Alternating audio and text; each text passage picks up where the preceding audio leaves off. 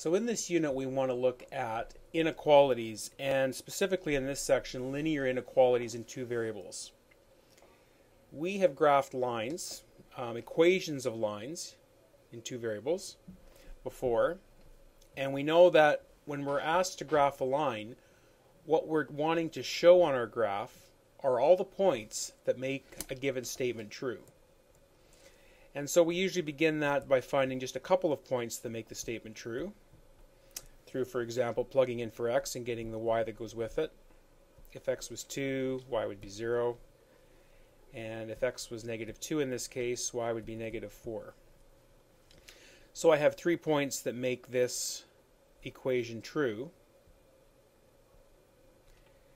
But since I want all points that make the equation true, I have to show that by drawing a solid line in the pattern being formed, which is a line. So the point, remember, when I'm graphing an equality is to show all points on the graph, in this case a line, that make the statement true. And we show that by drawing a solid line. So for example, you'll see that this line goes through the point 5 comma 3.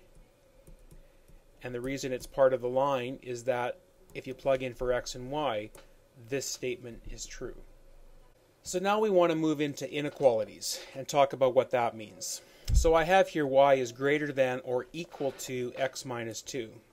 Now, as I said that, you heard me say equals, which is exactly what I had in the last example. I had y equals x minus 2.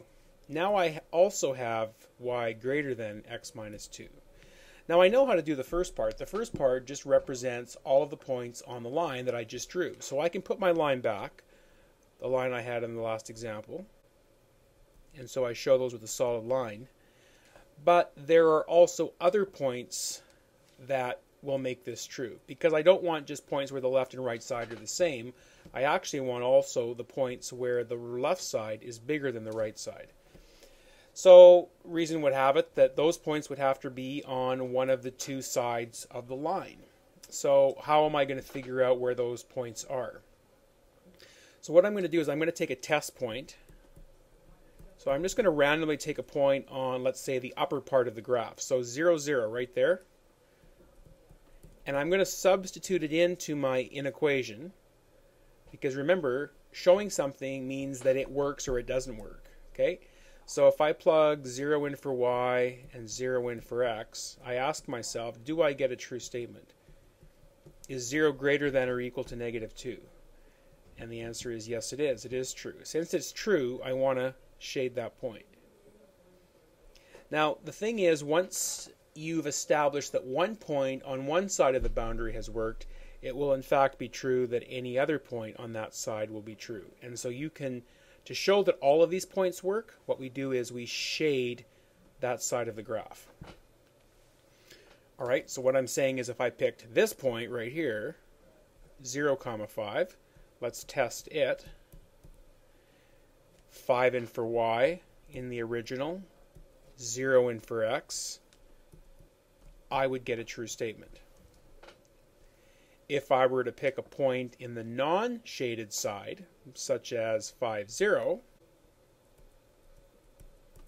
so 0 is y, and 5 is x, 5 minus 2 is 3, you'll notice that I get a statement which is false and so the points below the line do not satisfy the original inequation, so I don't shade them. I shade or I highlight or I make solid what makes the original statement work. All right, and in this case, that's the upper part of the graph. So just to review what I have here, okay? As I said at the beginning, all the points on the line still satisfy the inequation, so we draw a solid line to show that, as, as shown in red. Okay, but since we have a greater than sign, we have other points that will also make our original statement true. And those turned out to be the points above the line. We found that by taking those points, uh, taking a test coordinate, plugging it in to see if it worked or didn't work. If it worked, we knew that the points on that side of the boundary were the ones we were looking for, and we shaded it just one more variation on this question. You'll notice that in this example we have or we do not have an equals on our inequality. So we do not want to highlight the points on the boundary. We don't want where y is equal to x minus 2. And because I don't want those points, I'm going to use a dashed line through those points to show that the points on this dashed line are not part of my solution. Okay, I'm trying to avoid putting any kind of solid dots on because solid always means it's part of the solution. Any point along the line is not part of the solution.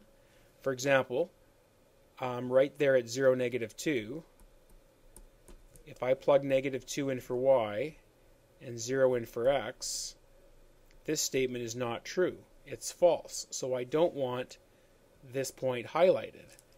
And to show that it's not included, I simply draw a dashed line through that point. Anything that's dashed or not colored in is considered to be not part of the graph. All right, so what is part of the graph? The boundary isn't. So again, we're going to do a test point. So let's test a point on one side of the boundary. Let's test this point here, 5 comma 0. So plugging this into the original, if 0 is y and 5 is x, do I get a statement here that's true? Is 0 less than 3? Yes, it is. It is true. So this point, along with any other point below the line, will satisfy the given, the original inequation. So I highlight that by shading. Every single point shaded. Go ahead and try it. Any point you pick in that shaded region, if you plug in its x and y coordinates, it's going to make this statement true. Any point above the line that's not shaded, take its coordinates, plug it in, it will not satisfy the inequation. So just to summarize, the points on the line in this case do not satisfy the inequation. So we draw our line as a dashed line, a dotted line to show that those points do not are not part of our graph.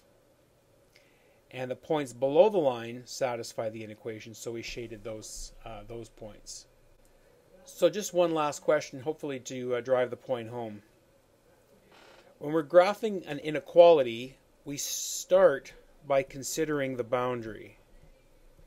And the boundary is if the sign in the middle was an equals. Now in this case it is an equals because it's included. So what that means is that the points on the boundary will be part of my answer. And so when I graph my boundary, I will show that in a solid line indicating that any point on the boundary will make the original statement true. All right? Uh, to graph my boundary, there's lots of different ways I could graph this line. I'm just going to find the x-intercept, which is when y is 0. When y is 0, the x-coordinate is 2. So 2 comma 0 is on the line, on the boundary. Uh, the y-intercept is when x is 0 So that means y is negative 3. So the coordinates of another point on the line are 0, negative 3. And any point on the boundary is part of the solution. So I'm going to use a solid boundary here. But I've also got to consider the points where the left side is bigger than the right side. And that will occur on one of the two sides of the line. Which side is it? Well, I do that by doing a test point. So let's test uh, 0, 0. That's a nice easy point to test. Usually x is 0 and y is 0. If I substitute that into the original statement, the question is, do I get a true statement or do I get a false statement? 0 minus 0 is 0. Is 0 greater than or equal to 6? False. It is not. So therefore, the points above the line don't seem to work. Therefore, the points below the line should work. Let's just check to be sure. Let's take 5 comma 0 again and make sure that that satisfies the inequality. If x is 5, that's 15 minus 2 times 0, 0. Question mark, is that greater than or equal to 6? Is 15 greater than or equal to 6? Yes, that is true. So this point satisfies the inequation, which means that any other point on this side of the boundary, the side of the line, will satisfy. So I shade below the line.